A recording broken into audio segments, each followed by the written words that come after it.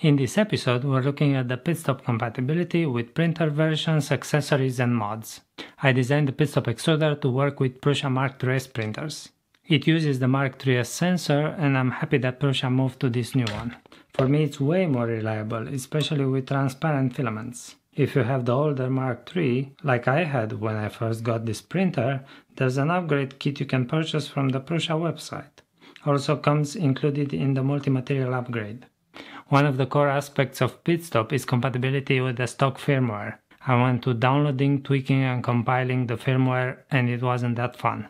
And I'd have to go through the whole process again for every new version. So I designed the Pitstop extruder to reduce maintenance, meaning no firmware changes.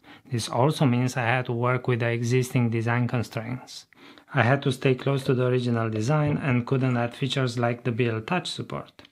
But if you're one of the more adventurous ones, let me know in a comment and I can definitely look into this if there's enough interest. I've got two MMU2S units. Sadly, this is all I've been able to print with them.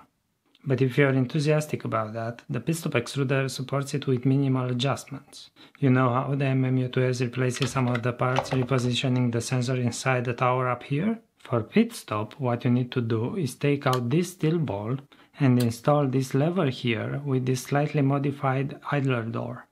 This way the sensor is triggered by the filament entering the gears, which is what MMU2S needs. And it's easy to switch back and forth. The sensor position can be adjusted slightly by hand, but I included extra levers of various sizes just in case. There's a pneumatic connector at the top for the multi-material unit or for a dry box.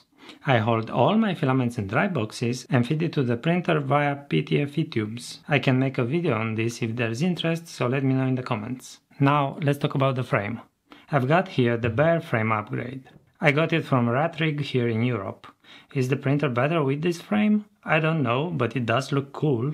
Anyways, whether you have this or the stock frame, Pitstop should still work. I haven't actually tested it on the original, but it should fit judging by the CAD designs I could find. Pitstop is not compatible, however, with the revised X-axis mod. I only learned about this later, so I didn't take it into account. Problems are that the fan is hitting the motor printed parts, and the belt is off by a few millimeters for some reason. However, I've modded that mod to work with Pitstop Extruder if you'd like to use it. It does look more solid to be honest, so I've installed it on this printer. The extruder has its own belt tensioner, but you can use the one that comes with the revised x-axis as well, so you can tension your belt while you tension your belt. Hmm. I've linked the adapted revised x-axis in the description. Perhaps you've noticed that I'm using IGUS drylin bearings here. You probably know that the stock bearing quality is not that great. I went the route of IGUS bearings because they're fairly cheap and very very quiet. Problem with them is that they require tensioning, otherwise they have a bit of play.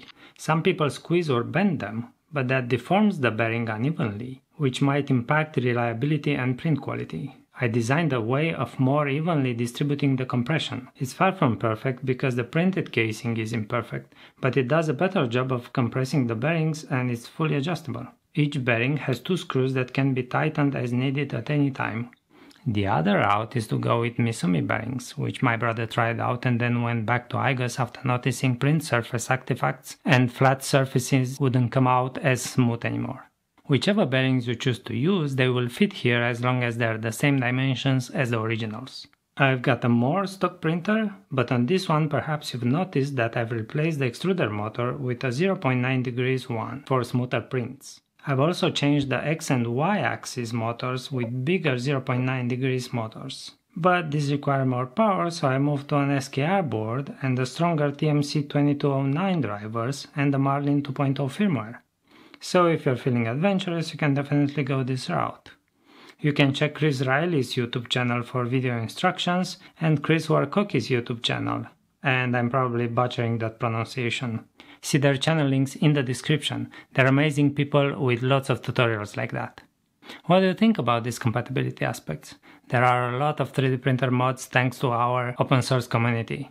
Is there one you like and want it supported by the Pitstop extruder? Let me know in the comments and I'll see what I can do. If you enjoyed this video, hit that like button and make sure to subscribe for more like this. Check out my other Pitstop related videos and until next time, be awesome! Feed it to the printer via via via via via via via via, and feed it to the printer via